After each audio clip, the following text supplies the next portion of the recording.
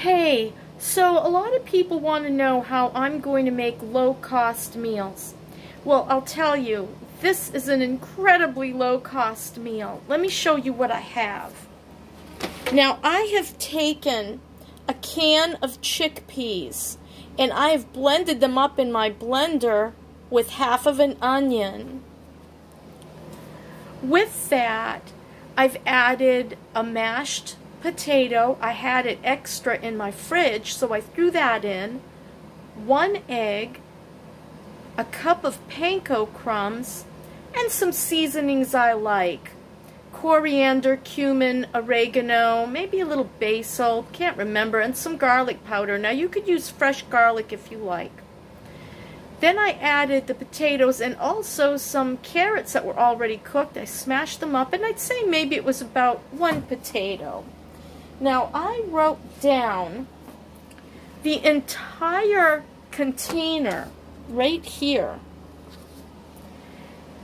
is only 755 calories for it all. Now I'm going to add some oil to the pan and I'm going to add that to my calories and see how much I actually have to use and how many little falafel or chickpea burgers I will have when I'm done. So,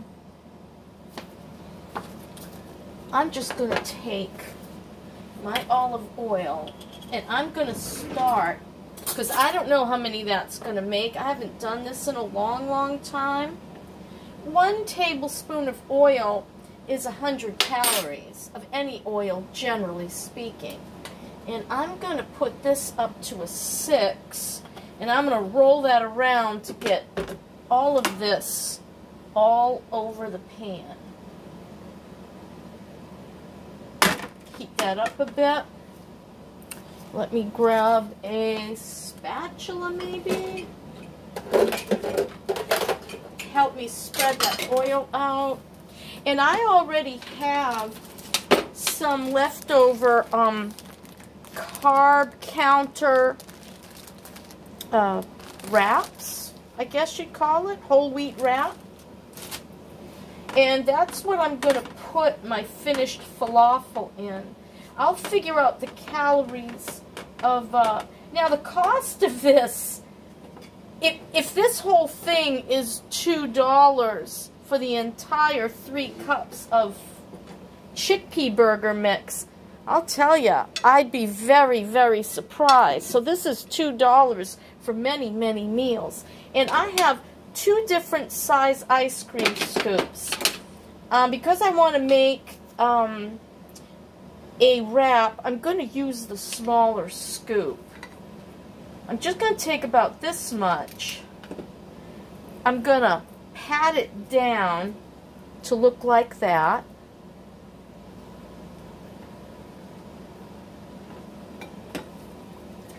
Because I'm probably going to want a couple of different falafel wraps as I do this.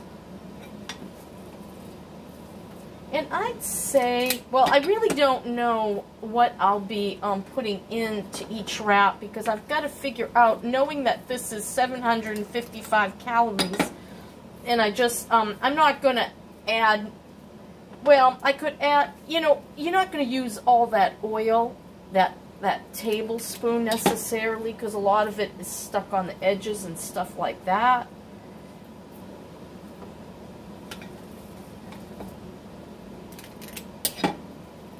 Now I can also, if I have any left, make a couple of good sized burgers as well. Take a little extra, and I'm just taking that little round mound and patting it down. Patting it down and straightening its edges out. So this is not a low carb meal it is going to be a low-fat meal, and that's a good thing. I just, last night I had boiled some carrots and potatoes to go with uh, a fish patty, even last night or the night before, I can't remember. And um, I thought to myself, hey, you know, I could add some of those vegetables in there. See how pretty that is with the colors? And gosh, you can put anything else you want, whatever type of uh, aromatic vegetables you love. It's your recipe, and you can do whatever you want. And you can add as much panko or breadcrumbs or anything that will dry it up a bit so that it stays formed. You don't want it to be so wet, mine was very wet, and that's why I added a whole cup of panko crumbs. Okay, so this is what we have going. How many are in there? One, two, three, four, five, six, seven, eight, nine, ten. And I would imagine three or four will be plenty for um, each wrap. So maybe I'll put two more of these into, oh, sorry, you can't see the pan that way. I'm going to put two more in this pan, and that way I have enough for, let's say I want to do four in a falafel. I'll have three lunches out of those. And I still have so much falafel left. At least two burgers are represented in what's left there. So these are coming along quite nicely. They're goldening up on one side and I'm doing it on the other side. Now it would be easier to just pat them down like I did, of course, on a greased cookie sheet and put them in the oven. That'd be very easy. I'm doing it on the stove top because it's hot here today and I, I don't want to um, heat up the house more than it's already heated up. So I'm not going to use any more oil. The pan is pretty well seasoned. Now I'm going to do probably like a scoop and a half. And I'm going to make a larger patty that can go on bread or a bun. Oh my, there goes some down on the floor. I'm sorry. I'm trying to get this can Instead, you get to see my elbow. Oh, what do we got here? What do we have here? I'm just to use my fingers. Throw that in the sink. And then I'm going to gather all of the rest of this up for the second bur burger. Okay, so I've got, if I use only three smaller patties, chickpea patties in the um, bread that I want to make a sandwich with, then I'm going to have a total of, uh, what did I say? Okay, three, um, 12, three. Actually, this is, this is actually eight servings, isn't it? Cheapers. So, you got and, and even with everything I'm going to use with it, we're talking about a dollar per serving.